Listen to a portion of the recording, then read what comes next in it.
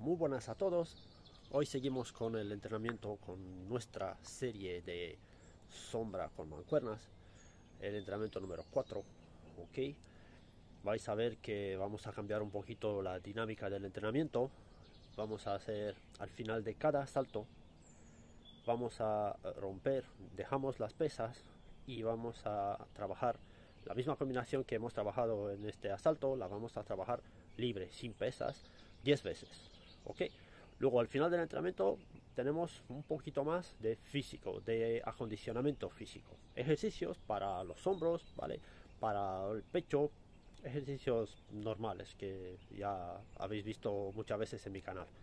Así que vamos, calentamos y a sudar.